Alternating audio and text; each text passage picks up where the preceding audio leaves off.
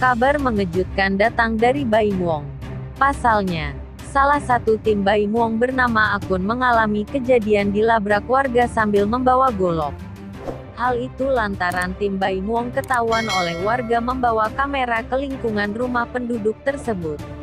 Padahal suami Paula Verhoeven dan timnya berniat untuk memberikan hadiah pada warga tersebut. Momen itu pun terekam dalam kanal YouTube Trans 7. Lantas seperti apa kronologinya? Simak artikel berikut ini. Baim Wong hendak memberikan hadiah berupa televisi pada salah satu warga. Namun tak secara langsung, suami Paula itu menyuruh salah satu timnya bernama Akun. Baim dan Akun menyamar sebagai kurir yang mengenakan jaket ojek online.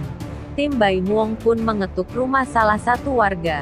Namun rupanya tim Baim Wong salah alamat. Melihat ada pria tak dikenal mendatangi rumahnya, salah seorang warga pun terus menginterogasi. Ini nomor 93 benar di sini. Katanya kakaknya Ibu Siwi. Ujar akun selaku tim Baim Wong dilansir Intip Seleb kanal YouTube Trans 7 pada Rabu, tanggal 30 September tahun 2020. Ibu Siwi, di sini gak ada, kata warga.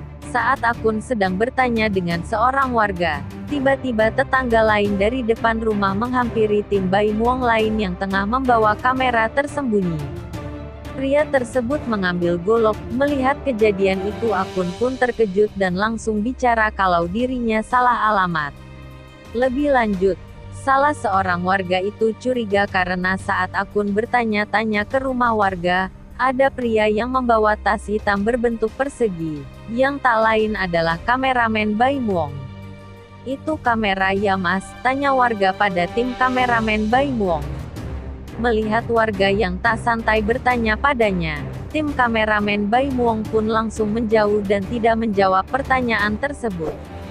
Shock dengan kejadian tersebut, akun pun menceritakan kejadian menegangkan itu pada Baim Wong. Dia menceritakan dirinya hampir saja dibacok oleh warga. Dek-degan mau diparang pak, yang marah itu tetangga depannya. Saya mau dibacok itu tadi orang itu udah bawa golok gitu kok, ujar Pak Akun pada Baim Wong. Penasaran dengan apa yang diceritakan akun, ayah Kiano Tiger Wong ini pun mendatangi warga secara langsung. Saat ingin mengetuk pintu rumah warga yang ingin diberikan hadiah, Tiba-tiba Baim Wong ditegur dengan pria yang membawa golok tadi. Perdebatan itu pun tak bisa dihindari. Meski artis 39 tahun itu telah menjelaskan dirinya hanya pura-pura dan ingin memberikan hadiah pada warga.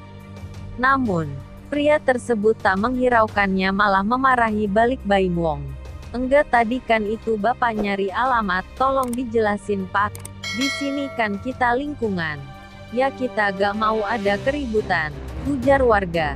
Ini kan pura-pura, ini kita mau kasih hadiah pak ujar Baim Wong.